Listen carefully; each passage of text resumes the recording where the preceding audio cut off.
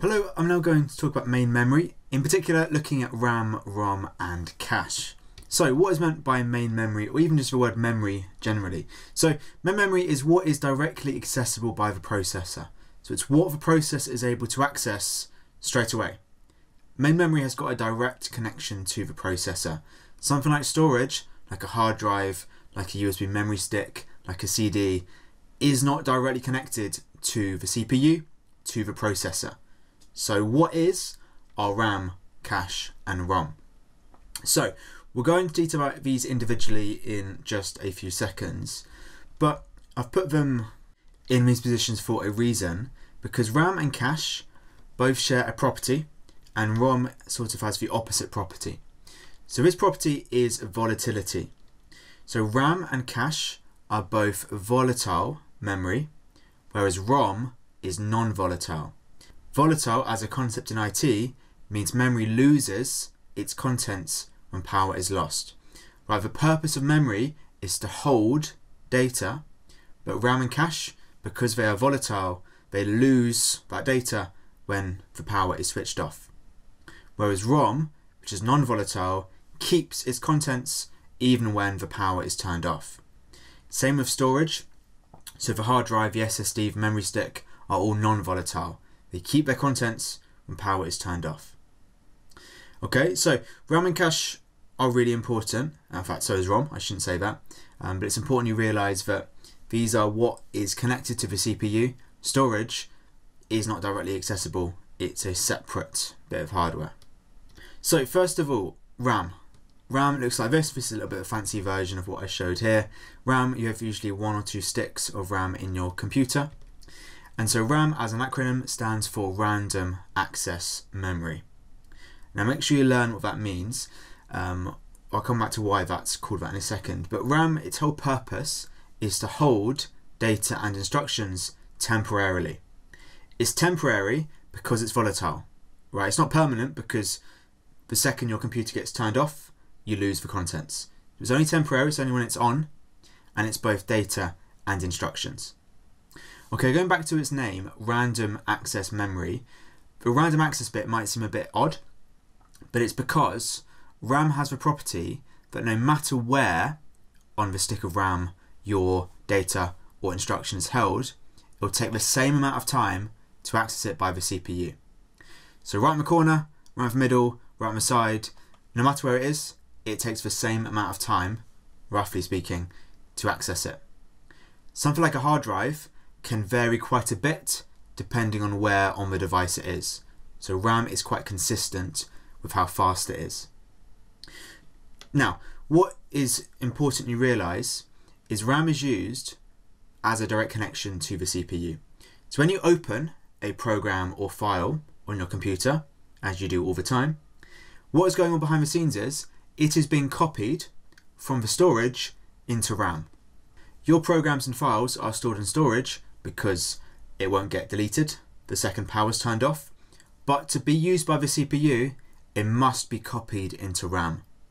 And so that's why things, are, things load. When you open them, they're loading from storage into RAM. And again, sort of just for your context, I suppose, as you might know, RAM is usually gigabytes in size, usually quite low gigabytes, right? Storage might be 500 gigabytes or a terabyte or two terabytes. RAM is smaller, so usually between 4 and 32 gigabytes in a standard computer. Could have more, could have less, but it's not as big as storage, generally speaking, because it's only for stuff which is open. You haven't got everything open at one time, so it doesn't need to be quite as big as storage. Okay, so RAM is our, our biggest example of memory, but ROM is very, very small but very essential in the process. ROM stands for read only memory, and it's hard to get a good photo of ROM because it's a very, very small memory chip. RAM is quite distinctive and quite big.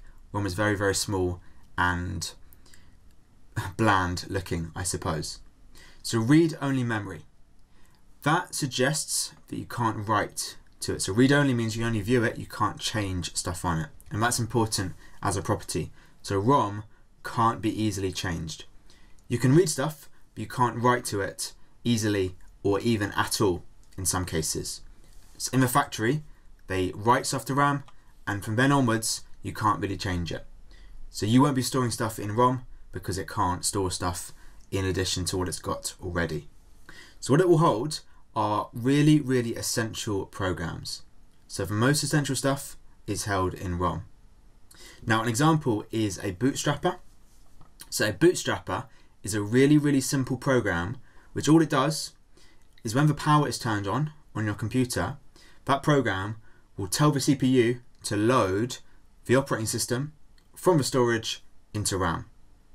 So the OS is stored in the storage because otherwise it would get lost if it was in RAM. But it's got to be put into RAM to be able to get used by the CPU. And so there's a program held in ROM which loads it from storage into RAM. It's why in the first you know few seconds of you turn your computer on, you often get kind of a black screen, usually with your motherboard um, company on it. And then you'll start to get your operating system load after maybe a couple of seconds. Okay, in those couple of seconds, the bootstrapper is loading the OS into RAM. Okay, so this loading screen is when the stuff in ROM is doing its job. Okay, that's all it's used for. It's only used for that first few seconds when you turn on a computer. Without it, you would never be able to open anything because nothing would be in RAM at the start. Okay, so ROM is really simple, has a very, very small capacity, usually only a few megabytes, maybe even less in some cases. So it's only for very, very important programs. The third and final example of memory is cache. So cache exists in a few places in the computer, but mostly it's a little part of the CPU. So again, it's hard to get a picture of it because it's just a little part of your CPU, but it is some very, very small but in particular very fast memory. So cache is rapid, much faster than ROM or RAM. Now, what cache does is hold frequently accessed instructions and data. Because it is so quick and because it's so small, the computer prioritizes the most frequently used instructions and data, and they're held in cache. There's no point holding some program which never gets used because why would you waste precious cache space on something which isn't really used? It's always stuff which is used really often. Now what's important to know is CPU cache, at least, is what is checked before RAM. So when the CPU is trying to use some data, it will first of all check cache before checking RAM. It will check cache first because cache is faster. And so to speed up things, it makes sense to check the faster version before the slower version. Of course, if the item isn't in cache, because cache is much, much smaller than RAM, it will just have to check RAM afterwards. Okay, so CPU cache is checked first, and it is really small. So RAM might be, say, 16 gigabytes, cache might be 5 kilobytes, maybe well, in most computers it'll be about 16 megabytes potentially in the CPU, but that's much, much smaller than RAM. Okay, so it's really, really fast, but much smaller. If you've got more cache, that's a good thing. It will speed up your computer.